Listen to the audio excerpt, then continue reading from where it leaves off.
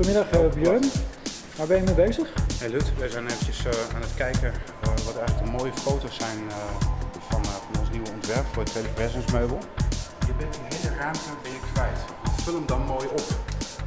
Een videoconferentie oplossing is dat die tijd kost toch 15.000 euro. Mijn gedachte is maak het gewoon net iets duurder, maar maak het wel heel mooi. videoconferentie gaat steeds meer naar het MKB toe, het gaat steeds meer toe naar, naar ieder bedrijf dat meerdere vestigingen heeft veelvuldig contact willen hebben met collega's op afstand en leveranciers op. Nu met dit meubel maken we het een stuk aantrekkelijker. Echt aan alles is gedacht bij het, uh, bij het ontwerp van de meubel. Audio is geïntegreerd. De camera die staat op ongeveer 90 centimeter hoogte. Die heeft zelf nog een hoogte van 10 centimeter, dus komt op 1 meter. Als we zitten aan tafel, dan is onze gemiddelde kijkhoogte op ons oog is 1,35 meter. Dat is je stoel plus je lichaamslengte. We vermijden dat we in de camera kijken en we simuleren toch op het beeld oogcontact.